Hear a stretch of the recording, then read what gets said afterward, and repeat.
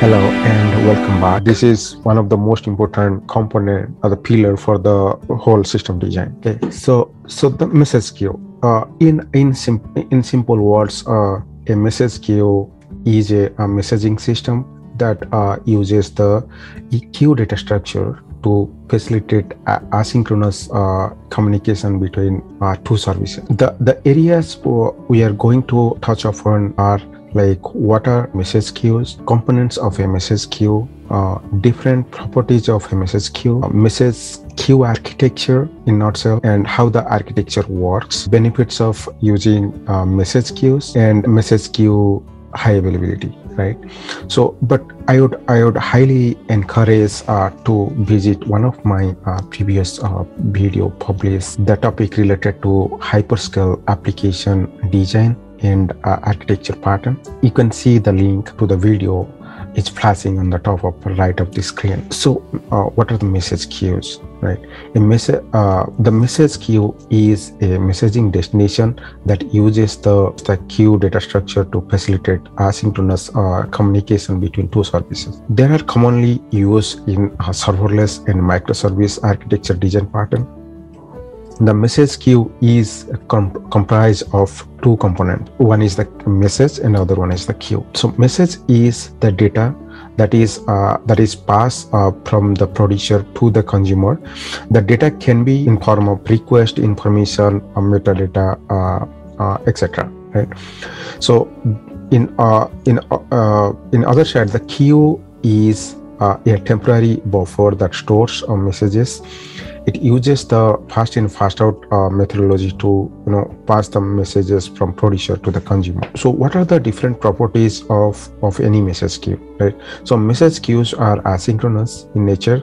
So this enables the producer to send uh, send any number of messages and continuous uh, and continue with other tasks without waiting for a response from the consumer. Once the consumer processes the message it can then notify the producer the message queues temporarily uh, store messages uh, until they are uh, received and processed by the consumer. Each message is uh, processed processed only once uh, by a single consumer, uh, e- even though the message queue can be used by many producers and consumers. And definitely not necessarily like I mean only once. But it's all about the configuration of the consumer and how you have written the consumer to consume the data from the events from the uh, message queue itself so if you see like what are the different uh, you know anatomy of the message uh, any message queue so it, it comes with three uh, you know four different components so one is definitely we, we talk about the message and the other one is the queue and the the most important users of the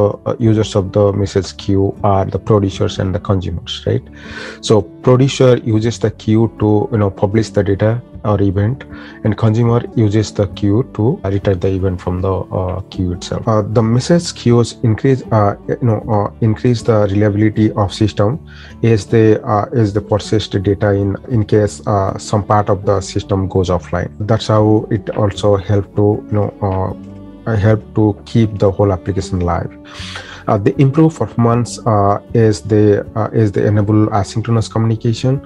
Uh, so this ensures that every system component is never idle or waiting for a uh, response or request right so message queue increases scalability as the system component are you know uh, decouple and thus can be independently scaled. This is an illustration of a queue architecture or uh, how how the you know queue architecture looks looks like. In high level the queue architecture is made up of producers and consumers and the uh, brokers correct? So producer it uh, it, it acts as a client application that creates and sends the message into the queue. The consumer is service that uh, acts as a uh, you know a receiver which receives and processes the message from the queue itself. How this uh, architecture really works: the producer creates the message and sends it to the message queue. In case the consumer is busy to immediately process it, the queue stores it until the consumer is available, or or it uh, the message is valid uh, and uh, still stays in the queue till the retention policy configured for that particular queue. The consumer retrieves the message from the queue and starts processing it, and the message queue then temporarily uh, you know locks the message uh, to prevent it from uh, being uh, you know read by another consumer. So after the consumer completes the message processing it deletes the message from the queue to uh, prevent it from being read by uh, other consumers. But definitely not it, this is not true for uh, for all okay for all. Because if you want to retain the data to use by other other you know consumer groups or consumers you can just you know keep increasing the offset in the queue and uh, keep going. So how to make a queue uh, highly available?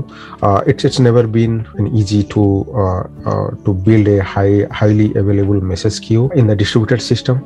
However these are some of the most important points need to be considered while uh, while building and deploying such a system. Correct so the the high availability can be achieved by adding the backup broker uh, to to the primary broker. So this can be achieved using the quorum technique uh, like 2n plus 1 number of brokers in the uh, cluster. We will talk about uh, quorum little bit in depth uh, in a different uh, different session. So uh, so publishers and consumers can independently uh, specify their you know quality of service that's called QoS direct or uh, persistent. So clients uh, establish connections only to the active that's called the primary broker. There is no need to create or monitor multiple connections for a single client and need to maintain a, a clean and simple failover strategy or whenever the primary broker fails the the backup broker seamlessly switches its uh, status from the standby to the active uh, active broker, allowing clients to automatically reconnect to the the active broker itself, right? So so that user will not really experiencing any system downtime or something like that.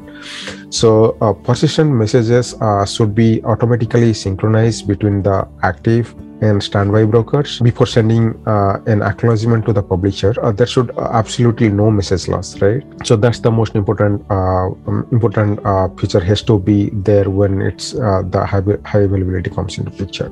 So once the failed broker comes comes back online, message reconcile should happen in the background and automatically for persistence message as well. There should be a monitor broker considered to avoid uh, you know split brain uh, scenario. So the split brain scenario is another uh, you know concept and tough we, we need to talk about later. So uh, so the message uh, message order should be uh, also preserved across all consumers regardless of their quality of services. These are things need need to take into consideration when building a, a message queue for the high availability or high available message queue